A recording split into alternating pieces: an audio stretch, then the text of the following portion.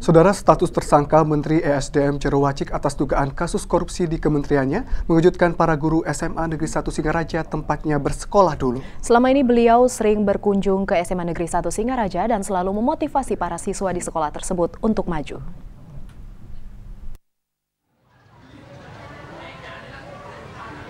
Setelah penetapan status tersangka Menteri ESDM Jerowacik oleh KPK dalam kasus dugaan korupsi di kementeriannya, sangat mengejutkan warga Buleleng.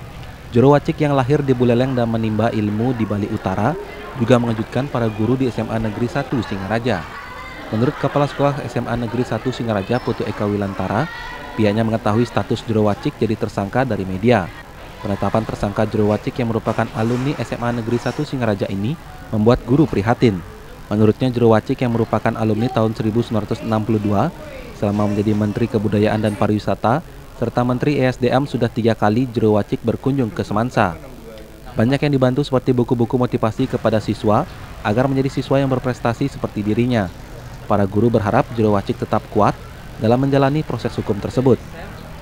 Sempat uh, memberikan motivasi kepada anak-anak di sini hingga uh, memang beliau mengharapkan anak-anak bisa berprestasi, bekerja keras dan juga uh, pantang menyerah dan dia juga sempat memberikan uh, satu dua buku tentang biografi beliau. Jero Wacik terakhir kali berkunjung ke Buleleng pada awal tahun 2014 ke Sekolah Dasar Negeri 1 Banjar Jawa dan SMA Negeri 1 Singaraja.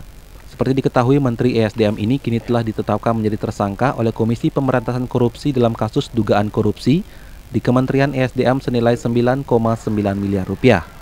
Putu Wijana, TVRI Bali, melaporkan.